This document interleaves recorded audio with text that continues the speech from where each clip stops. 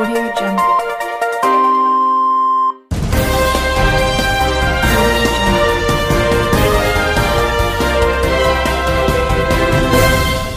నమస్కారం RK communication city news కి స్వాగతం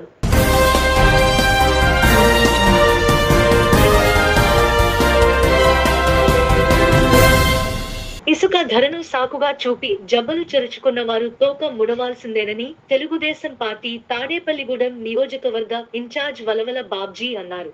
శనివారం తాడేపల్లి కార్యాలయంలో విలేకరుల సమావేశం నిర్వహించారు. పశ్చిమ గోదావరి జిల్లా మూడు ఇసుక రీచ్లను కేటాయించినట్లు తెలిపారు. ఇసుకపై జీఎస్టీ సీనరేజ్ లేదని పేర్కొన్నారు. సొంత లారీలు ఉంటే రూ. ఎనిమిది వేలకే ఐదు యూనిట్ల ఇసుక వస్తుందన్నారు. నిర్మాణదారులు ఈ అవకాశాన్ని వినియోగించుకోవాలన్నారు. ఇసుక పాలసీ మీద ఎన్నాళ్ళు ప్రతిపక్షం దుమ్మెత్తి పోసిన పరిస్థితి కనపడేది.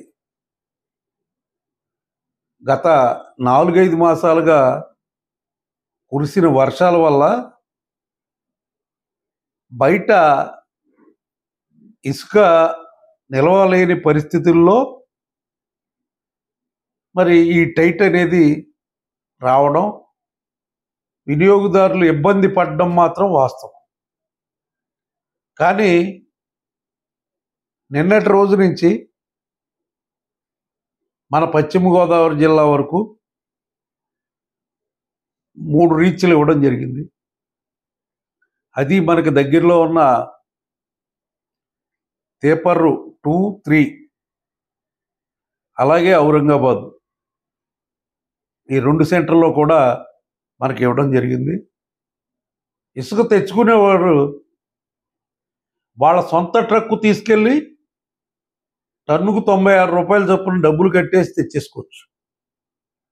అంటే మామూలుగా ప్రైవేట్ ట్రక్ అయినా ఈవేళ పేపర్ నుంచి ఇక్కడికి ఆరు వేల రూపాయలకి ఒక ఐదు యూనిట్లు లారీ వచ్చేస్తుంది.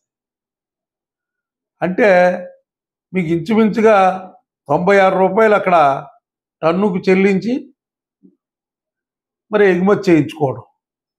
ఈవేళ ఎగుమతికే ఆ డబ్బులు. జిఎస్టీ లేదు సేనరైజ్ లేదు ఏమీ లేదు. మీ సొంత లారీ వెళ్ళి తెచ్చుకో కావాలంటే ఇంకా తక్కువ పడుతుంది ఎనిమిది వేల రూపాయలకి మీకు ఐదు యూనిట్ల ట్రక్కు సప్లై అయ్యే అవకాశం తాడేపులుగూడానికి చుట్టుపక్కలకు ఉంది అంటే మరి వినియోగదారులు అందరూ కూడా ఈ అవకాశాన్ని వినియోగించుకోండి. ఎన్నాళ్ళు ఒకళ్ళ చెవులు ఒకళ్ళ కొరుక్కుని నేను ఆ పాతిక వేలు ఉంది ముప్పై వేలు ఉంది అని చెప్పి మరి జబ్బలు ఎగరేసిన పెద్ద మనుషులు వేళ మరి తోక ముడవలసిన పరిస్థితులు ఏర్పడ్డాయి. ఎందుకంటే ఇందులో ఎవరో ఏదో తినేస్తున్నారని అలాగని ఇలాగని చెప్పి నీ లోడింగ్కే ఆ తొంభై ఆరు రూపాయలు. నీ సొంత ట్రక్ తెచ్చుకో లోడ్ చేస్తారు తెచ్చుకో. ఇంక ఇబ్బంది ఏముంది? ఇలాంటి ఇబ్బందికరమైన పరిస్థితులు ఇంకా ఇసుక మీద లేవు. రాబోయే రోజుల్లో కూడా వర్షాకాలానికి ఇబ్బందులు లేకోకుండా ఎక్కడికక్కడ స్టాక్ యార్డ్స్ పెట్టి ఆ స్టాక్ యార్డ్కి చేరిన మరి ఏదైతే ట్రాన్స్పోర్టు ఉంటుందో ఆ రేట్ని మళ్ళీ వేసుకుని ఇవ్వడం జరుగుతుంది. అప్పుడు కూడా చెప్తారు మళ్ళీ నీ ఇసుక రేటు పెరిగిపోయిందని. చెప్పి కానీ మరి స్టాక్ యార్డ్ నుంచి తెచ్చుకున్నప్పుడు ఓ రేటు ఉంటుంది. మీ హయాంలో మరి సన్నివేశాలు ఉన్నాయి. కానీ ఎనిమిది వేలు అమ్మిన సన్నివేశాలు ఎప్పుడూ లేవు మీకు. మీరు తక్కువ అంటే పదహారు నుంచి పద్దెనిమిది వేల రూపాయలు మీ హయాంలో. కానీ తెలుగుదేశం పార్టీ కూటమి హయాంలో వేళ ఖచ్చితింపుగా తాడేపల్లిగూడెం చుట్టుపక్కలకి ఎనిమిది వేల రూపాయలకి ఐదు యూనిట్ల లారీ వచ్చేస్తుందని చెప్పి తెలియజేస్తా ఉంటాం మరి ఇది- కేవలం బురద జల్లడానికి మరి వైసీపీ దీన్ని ప్రజల్లోకి తీసుకెళ్ళి చెడ్డ చేయాలని చూస్తూ ఉన్నారు. కానీ రీచ్లు ఓపెన్ అయిన తర్వాత మీరు మాట్లాడే పరిస్థితి కూడా కనపడతలేదు. ఇప్పుడు వెళ్ళిన లారీ వెళ్ళినట్లు లోడే చేస్తుంది మరి అలాంటి సందర్భంలో ఇంకొక విషయం ఏంటంటే ధాన్యం రైతులకి మీరు మీ ప్రభుత్వం ఉండగా రెండు నెలలు మూడు నెలలు కూడా డబ్బులు రాని సన్నివేశాలు. ఈవేళ రైతుకి నాలుగు గంటలు ఐదు గంటల్లోనే రైతుకు డబ్బులు పడిపోయే పరిస్థితి. కేవలం మరి మరి బ్యాంక్ టైం అయిపోతే ఇరవై నాలుగు గంటల్లో ఖచ్చితంగా మీకు మీరు తోలిన వెంటనే డబ్బులు పడిపోతున్నా. అంటే ఎంత మార్పు ఈ ప్రభుత్వంలో వచ్చిందనేది చూడాలి. చాలామంది చెప్తా ఉన్నారు ఆ పథకం ఇవ్వలేదు ఈ పథకం ఇవ్వలేదు. మరి జగన్మోహన్ రెడ్డి గారు కూడా అమ్మఒడి ఇచ్చినప్పుడు ఆయన మే నెలలో ఆయన ఎలక్షన్ రిజల్ట్స్ వస్తే ఆయన మార్చిలో అమ్మఒడి ఇచ్చాడు ఇప్పుడు తల్లికి వందనం ఇస్తానికే ఇక్కడ కొంతమంది పెద్ద మనుషులు తొందరపడిపోతున్నారు. ఇస్తారు. సంక్రాంతి ముందు ఈ పథకం అమలు చేస్తాం. మరి కొన్ని పథకాలకే కొంత టైం పట్టచ్చు. ఆ టైం పట్టినా ఖచ్చితింపుగా ఏదైతే మరి చంద్రబాబు నాయుడు గారు పవన్ కళ్యాణ్ గారు మోడీ గారు వాగ్దానం చేశారో ఆ వాగ్దానాలన్నీ నిలబెట్టుకునే దిశగా మరి ప్రభుత్వం వెళ్తుంది. మరి కొన్ని సందర్భాల్లో చాలా మాటలు మాట్లాడుతూ ఉన్నారు. మీ అందరికీ కూడా తెలుసు ఖజా ఖజానా ఖాళీగా ఇచ్చారన్న సంగతి. మీరు అప్పులు చేసి దాన్ని మీరు వేసారేమో. కానీ ఈవేళ మరి రెండు కళ్ళలా తీసుకెళ్తున్నా ఉన్నారు. ఎంతమంది పెట్టుబడిదారులు రావడానికి సిద్ధంగా ఉన్నారో మీ అందరికీ తెలుసు. హైదరాబాదులో రియల్ ఎస్టేట్ కుప్పకూలిపోయిందని చెప్తా ఉన్నారు. అంటే ఆంధ్రప్రదేశ్కి పెట్టుబడులు తరలి వస్తున్నాయన్న సంకేతం దీంతోనే అర్థమవుతూ ఉంది. ముఖ్యంగా రాజధాని తయారవుతుంది.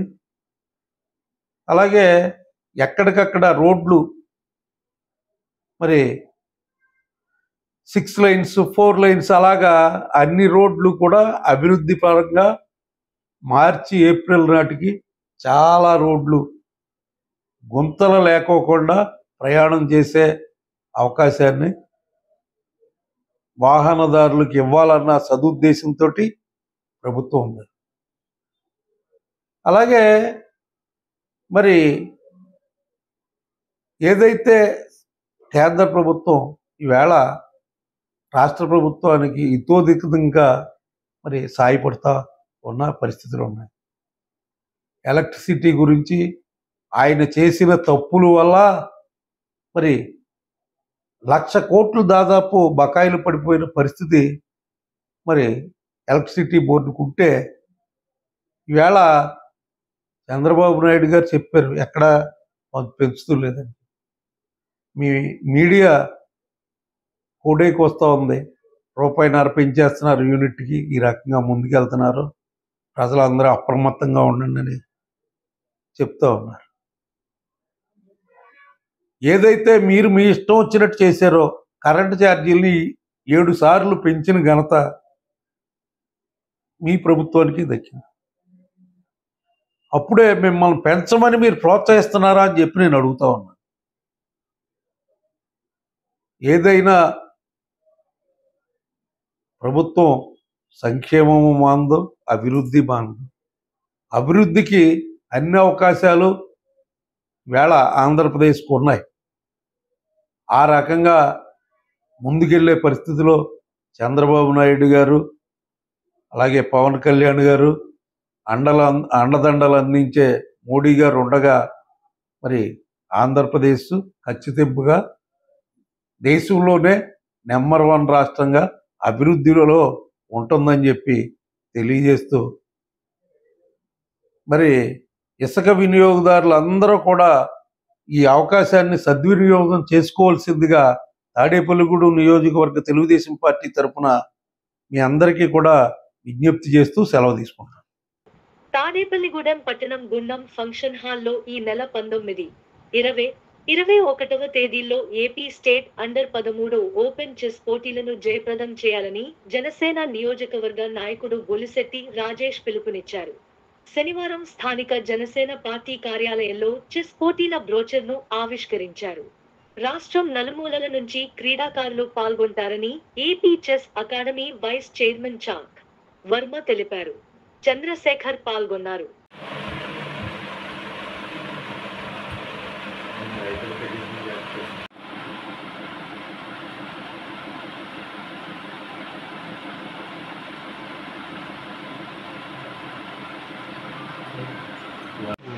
గాంధీ వచ్చినా కూడా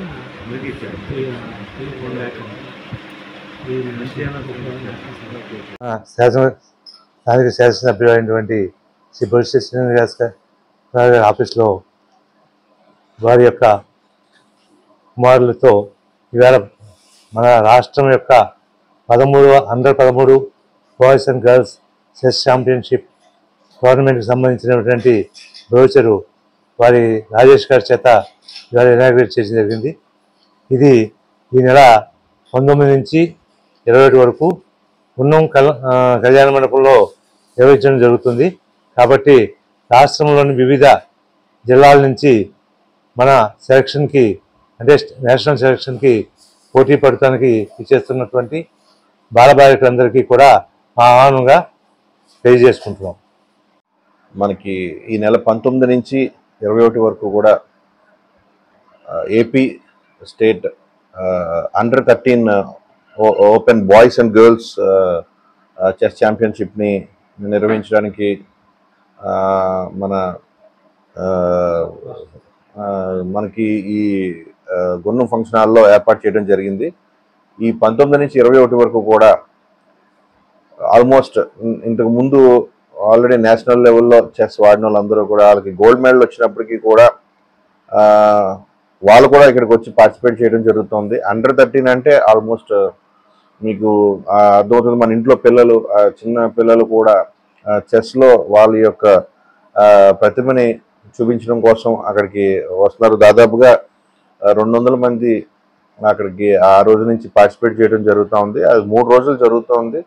ఆ మూడు రోజుల్లో ఎవరైతే ప్రతిభని కనబరుస్తారో వాళ్ళ యొక్క టాలెంట్ చూపిస్తారో వాళ్ళని తీసుకుని నెక్స్ట్ లెవెల్కి అంటే నేషనల్స్కి పంపించే ఉద్దేశంతో మనకి ఇక్కడ ఏర్పాటు చేయడం జరిగింది. దాని గురించి ఇవాళ మనం దాని యొక్క బ్రోచర్ని దాని యొక్క ఇదిని షెడ్యూల్ని కూడా మనం ఇవాళ ఇవాళ ఓపెన్ చేయడం జరిగింది. మన సిహెచ్ఆర్కి వర్మ గారు అట్లాగే మన చెస్ ఎవరైతే ఇప్పుడు దాకా మన శేఖర్ చంద్రశేఖర్ గారు ఆయన దాదాపుగా నాకు ఒక పదకొండేళ్ళ నుంచి కూడా ప- పద- పదకొండేళ్ళ నుంచి కూడా నాకు పదకొండు కాదు పద్నాలుగు పదిహేను ఏళ్ళ నుంచి కూడా నాకు ఆయన ఈ చెస్ ఈ చెస్ ఛాంపియన్షిప్ని ఆయన ఎప్పుడూ కూడా వెనకాల ఉండి దీన్ని ఏర్పాటు చేయడం కోసం స్పాన్సర్స్ తీసుకుని అలాగే ఎప్పుడు పెట్టడం జరుగుతూ ఉంది. మన పిల్లలకి ట్రైన్ కూడా చేస్తూ ఉంటాడు ఆయన.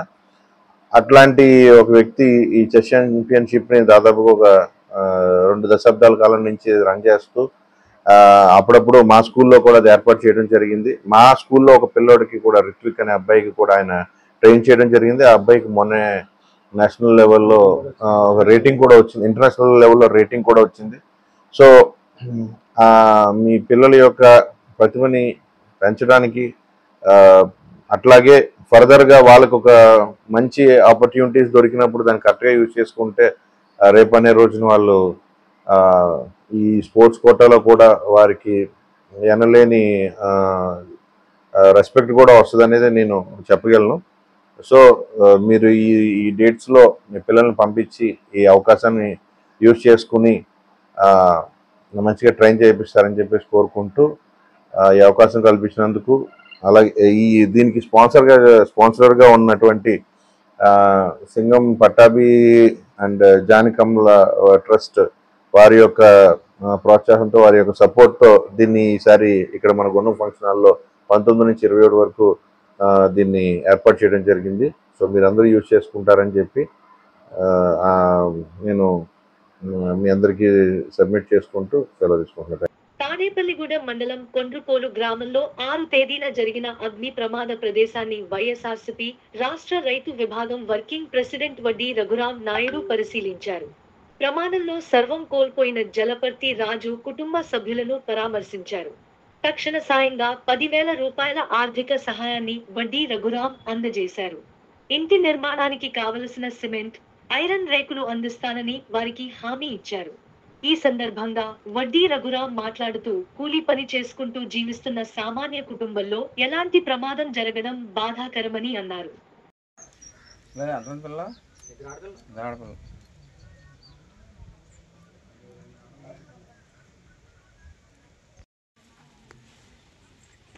అర్థం పిల్ల ఆడపిల్ల ఆడ మహిళ కార్యకర్తలు ఏంటి? అనుకున్నారు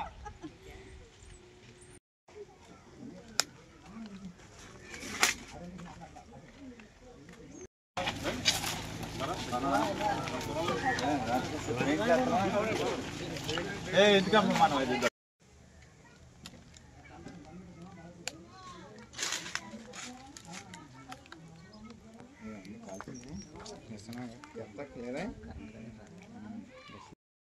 మళ్ళీ టాటాకే వేస్తావా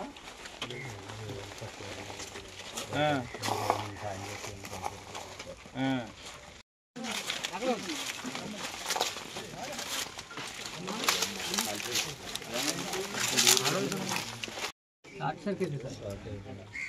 ఇది మీటర్ ఇది ఉందా అవును సార్ వదిలే లోన్ జాగ్రత్త చేస్తాం పర్లేదు సరే ఓకే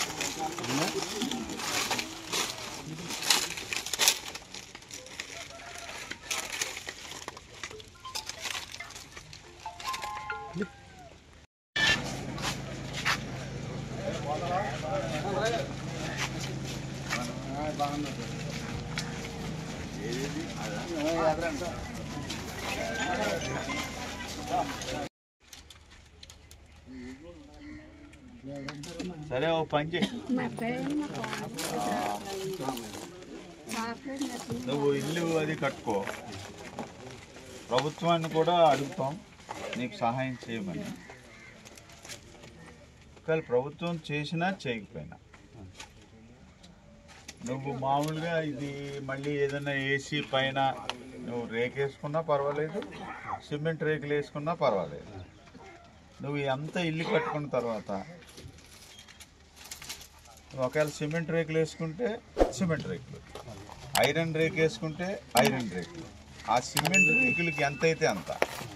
ఐరన్ రేకులు వేసుకుంటే ఐరన్ రేకులకి ఎంత అయితే అంత నేను ఇస్తాను. నేను ఏర్పాటు చేస్తాను. దీంతోనే మన మా జడ్పీటీసీ ఉన్నారు ఇక్కడ ఎంపీటీసీ ఉన్నాడు సార్ గంగారావు గారు ఉన్నారు శ్యామ్ అని ఉన్నారు. మీరు అందరితో సంప్రదించి చేస్తాం ఇప్పుడు నేను కూడా నీకు అందరిలాగా ఈ బియ్యం అవి కూడా నేను పట్టుకుని రావాలని అనుకున్నాను కానీ నాకు మనసుకి ఏమనిపించిందంటే నేను అదేదో బియ్యం ఇస్తాను. ఏదో ఒక రోజు రెండు రోజులు సరిపోతుంది. తర్వాత నీకు ఇప్పుడు ఈ సామాన్లన్నీ కాలిపోయినాయి. ఈ ఏం కొనుక్కోవాలో ఏం చెందాలో నాకు తెలియదు కదా. నీకైతే ఏం కావాలో ఏం చెందో తెలుస్తారు కాబట్టి ఇప్పుడు నేను ఈ పదివేల రూపాయలు నీకు ఇస్తున్నా. ఈ పదివేలు పట్టుకో.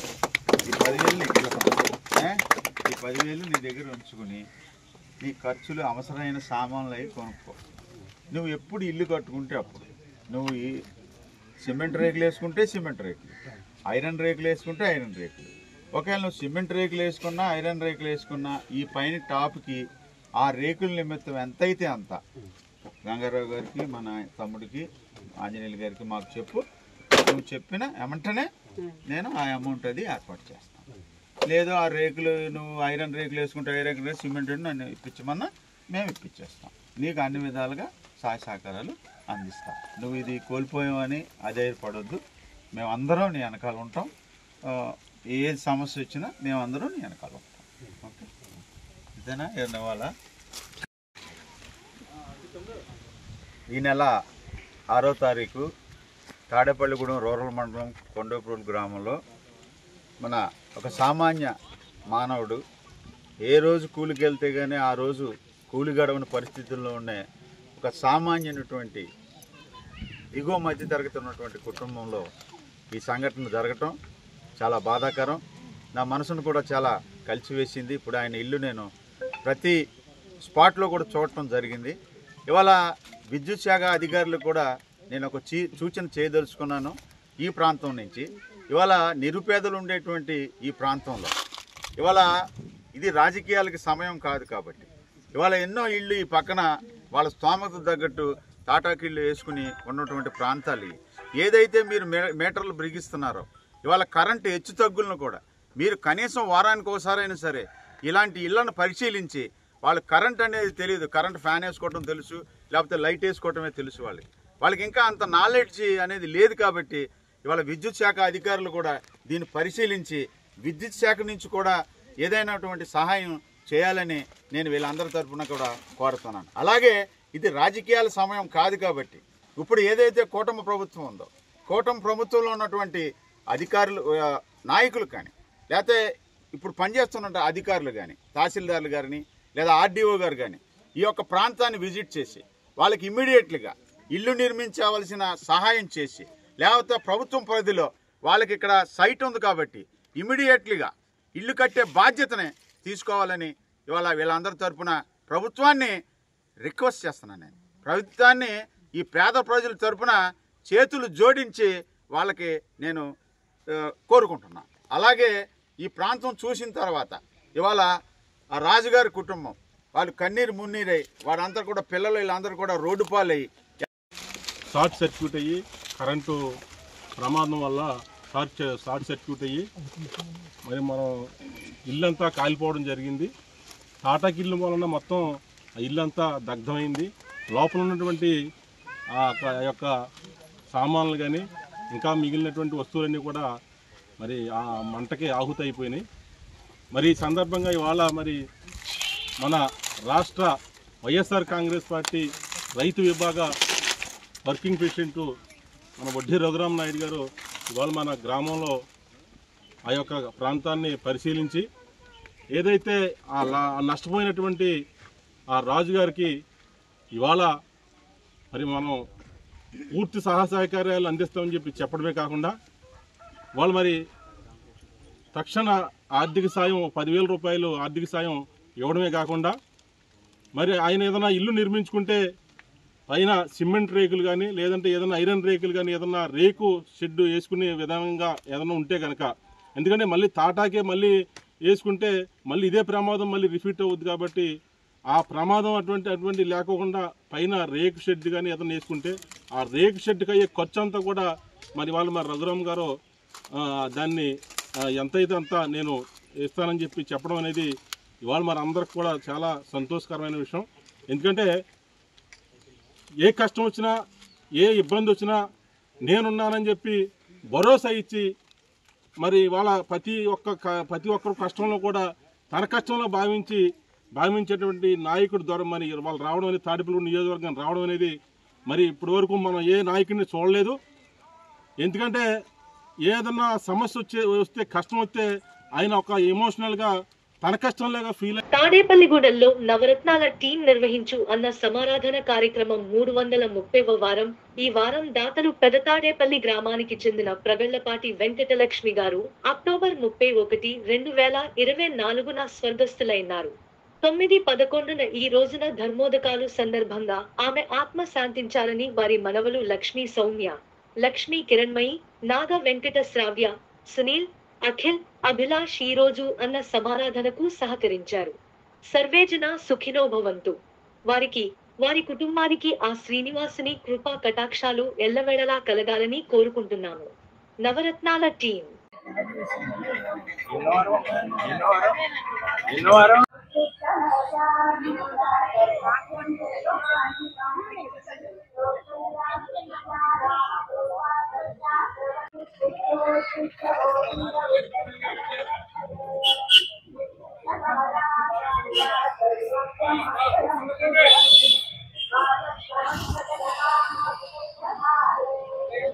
కీర్తి ఎన్నో వారం అమ్మా. ఎన్నో వారం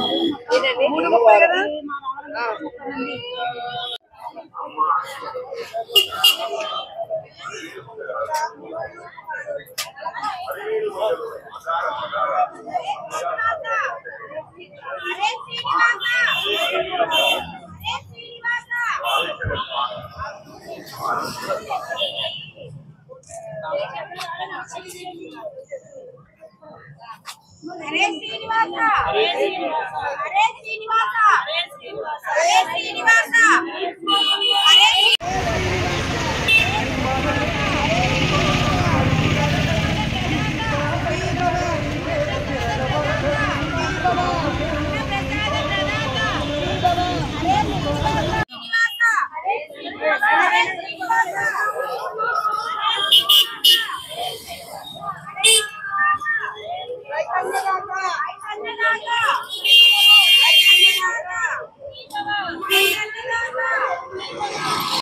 తాడేపల్లిగూడెంలో బస్ స్టాండ్ దగ్గర ఉన్నటువంటి వెంకటేశ్వర స్వామి గుడి దగ్గర అన్నదానం మూడు వందల ముప్పై వారానికి చేరుకుంది. ఈ వారం అన్నప్రసాద్ దాతలుగా నిలిచింది. తాడేపల్లిగూడెం వాస్తవ్యులైనటువంటి ప్రగల్పాటి వెంకటలక్ష్మి గారు స్వర్గస్థులైనారు. వా ఆవిడ పేరు చెప్పి వాళ్ళ మనవలు మనవరాళ్ళు కూడా ఈ కార్యక్రమానికి మనకి ఎంతో సహకరించారు. అలాగే ప్రతి ఒక్కళ్ళు కూడా మా వాళ్ళకి పుట్టినరోజైనా పెళ్ళి రోజైనా ఏమైనా పెద్దల గుర్తుగా పెట్టాలన్నా కూడా ఇలాగా పది మందికి భోజనం పెట్టి వాళ్ళ ఆశీస్సులు కూడా వాళ్ళకి ఇవ్వ ఇప్పించేలాగా ప్రతి ఒక్కరు ప్రవర్తించాలి. అన్నదానం అనేది చాలా గొప్పది. ఎందుకంటే ఎంతమంది అయినా సరే కడుపు నింపాము అంటే వాళ్ళ సుఖీభవ అంటారు. వాళ్ళ ఆశీస్సులు కూడా ఎంతో మంచి కుటుంబాలకి. అందువల్ల ప్రతి ఒక్కళ్ళు కూడా ఈ కార్యక్రమానికి చేదోడు వాదోడుగా ఉంటారని ఆశిస్తూ మా నవరత్నాల టీం వారు చేసే ఈ కార్యక్రమంలో తమ వంతు భాగస్వాములు అవ్వాలని ప్రతి ఒక్కరిని పేరు పేరున తలుచుకుంటున్నాము కోరుకుంటున్నాము. అందరూ కూడా బాగుండాలి అన్నదాత బాగుండాలి అన్న ప్రసాద దాత బాగుండాలి. దీని కార్యక్రమాన్ని చేసే ప్రతి ఒక్క సేవకులు కూడా చాలా బాగుండాలి. దాతలు ఉన్నారు. దోతలుగా ఈ మా నవరత్నాల టీం ఉంది. అందరూ కూడా సహకరిస్తారని కోరుకుంటూ హరే శ్రీనివాస. హరే శ్రీనివాస. ఈ వారం మూడు వందల ముప్పై వారానికి చేరుకుందండి. ఈ వారం దాతలు ప్రగల్పాటి వెంకటలక్ష్మి గారు ముప్పై ఒకటి పది ఇరవై నాలుగున స్వర్గస్థులైనారు. తొమ్మిది పదకొండు పదకొండున ఈ రోజున ధర్మోదకాల సందర్భంగా ఆమె ఆత్మ శాంతించాలని వారి మనవలు లక్ష్మీ సౌమ్య లక్ష్మీ కిరణ్మయి నాగవెంకట శ్రావ్య సునీల్ అఖిల్ అభిలాష్ ఈ రోజు అన్న సమారాధనకు సహకరించారు. వారి ఆత్మకు శాంతి కలగాలని మనసారా కోరుకుంటున్న నవరత్నాల టీం. అలాగే దాతలుగా వ్యవహరించిన మనవలందరికీ కూడా ఆ శ్రీనివాసుని కృపా కటాక్షాలు ఎల్లవేళలా ఉండాలని మనసారా కోరుకుంటున్నాము. అలాగే మాకు అన్నదానానికి సహకరించవలసిందిగా కోరుచున్నాము. మా సంప్రదించవలసిన phone number nine one five four seven eight nine zero double two. మరొకసారి nine one five four seven eight nine zero double two. ఈ వార్తలు ఇంతటితో సమాప్తం. నమస్కారం.